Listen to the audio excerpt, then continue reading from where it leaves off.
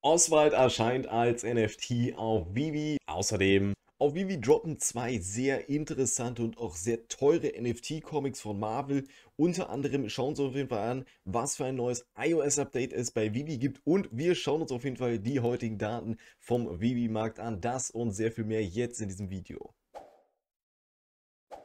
Willkommen an Bord, ich bin Stan Captain, dein VVUG mit den wichtigsten VV-News, die du auf jeden Fall da draußen wissen solltest. Und ich würde sagen, wir springen heute an dieser Stelle direkt rein ins Video, denn es gibt wirklich eine Menge sehr interessanter Informationen. Deswegen bleib wirklich bis zum Ende dabei, um wirklich jede Information für dich da draußen mitzunehmen.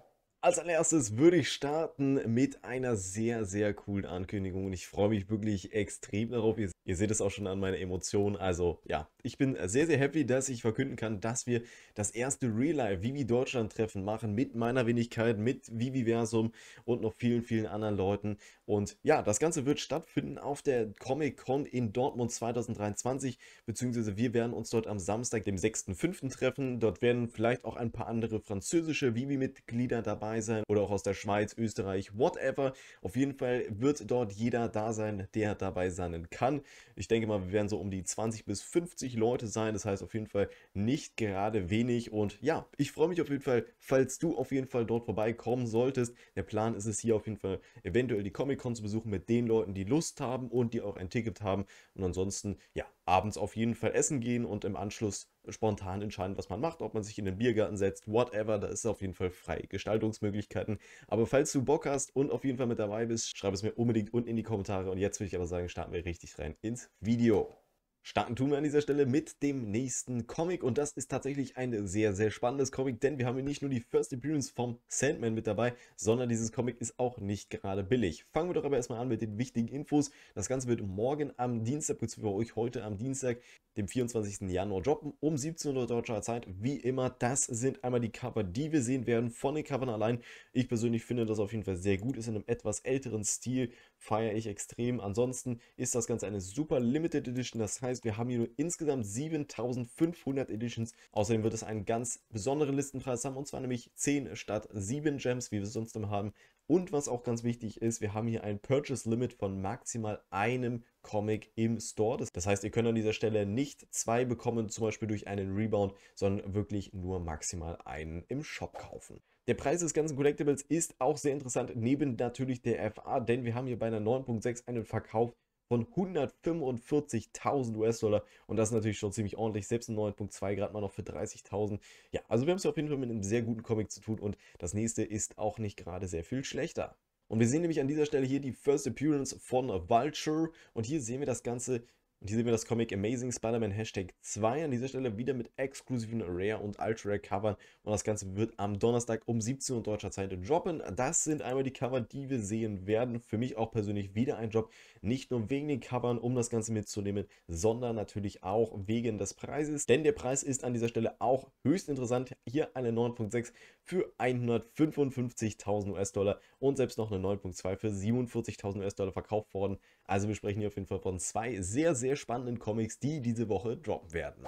Ich hatte es schon vor einigen Tagen ja in einem Video von mir kommuniziert, beziehungsweise schon angesprochen, und zwar nämlich hier kommt Oswald bald als NFT auf Vivi. Und ja, das war in etwa vor acht Tagen und nun ist es soweit. Wir bekommen wirklich Oswald als NFT auf Vivi und ich bin wirklich sehr gehypt. Das ist mit einer ja, der ikonischsten Figuren aus dem Disney-Universum und hier zum 100-jährigen von Disney bekommen wir ihn jetzt auch wirklich als Figur bzw. als Collectible auf Vivi und das Ganze wird in drei Varianten hier auf Vivi droppen, natürlich im Blindbox-Format und das Ganze wird am Freitag um 17 Uhr deutscher Zeit droppen und ich bin wirklich extrem gespannt. So sieht das Ganze dann auf jeden Fall bei einem Collectible aus. Ich kann mir vorstellen, dass es die Secret ist oder auch die Common, eins von beiden auf jeden Fall.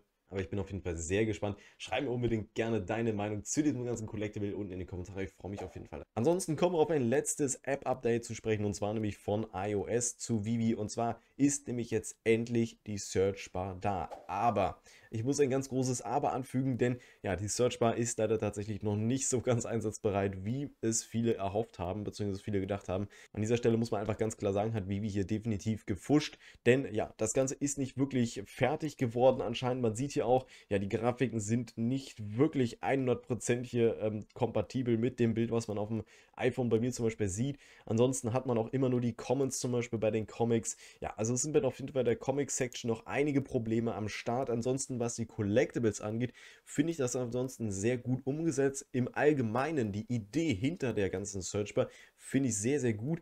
Aber ja, das ist auf jeden Fall ein Punkt, der mich persönlich sehr, sehr stört und wo ich auch wirklich sagen muss, das ist auf jeden Fall ein ganz dicker Daumen nach unten, denn das Ganze ist tatsächlich schon, ja, nicht seit gestern in Planung und ich denke mal, so eine Searchbar zu entwickeln, wird jetzt nicht außergewöhnlich kompliziert sein. Also ja, an dieser Stelle wirklich ein bisschen enttäuscht, aber nichtsdestotrotz schauen wir uns auf jeden Fall mal die nächsten News an.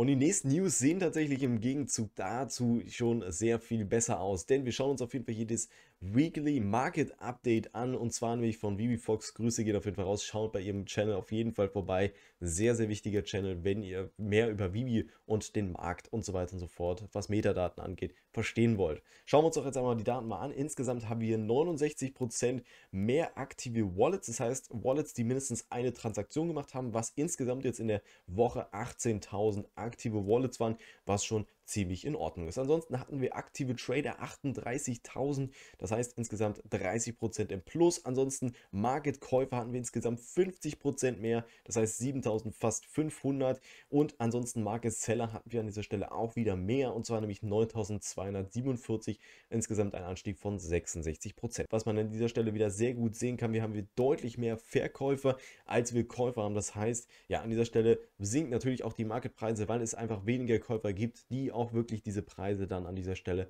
auffangen. Das ist natürlich eigentlich generell eine sehr negative Entwicklung, muss man ganz klar sagen. Aber was sehr positiv ist, dass wir wirklich so einen Anstieg der aktiven Wallets haben. Ich meine, knapp 20.000 User ist eigentlich gar nicht mal so schlecht, aber natürlich im Vergleich zu den ja, letzten Jahr bzw. zum letzten Jahr im Januar ist das natürlich zum momentanen Zeitpunkt wirklich gar nichts. Und ansonsten schauen wir uns insgesamt nochmal den Kryptomarkt an und ja, vielleicht schauen wir uns auch mal den Omi-Token an, denn der bewegt sich irgendwie nicht so wirklich, wie er sich bewegen sollte. Wenn man sich das mal ja, genau anschaut, Bitcoin 9% im Plus, Ethereum 5% im Plus, XRP, selbst, selbst XRP ist hier mit 11,9% im Plus. Und wenn wir uns jetzt mal Omi anschauen, ja, dann ist das schon ziemlich ernüchternd. 0,3% hier gerade im Plus und auch hier in den letzten 14 Tagen gerade einmal 11%, wo viele Coins wirklich deutlich mehr gemacht haben. Insgesamt ja, bewegen wir uns hier irgendwie in so einer Akkumulationsphase, in der Seitwärtsphase und kommen hier nicht wirklich aus dem Schuss. Ja, woran das liegt, kann ich euch ehrlich gesagt nicht sagen. Eine Vermutung von mir ist, dass wir hier wirklich gerade ein sehr großes Marktgleichgewicht haben. Das heißt, wir haben erstmal die Wale, die auf jeden Fall den Preis nicht weiter runterlassen, aber auch den Preis nicht weiter hochpumpen lassen wollen.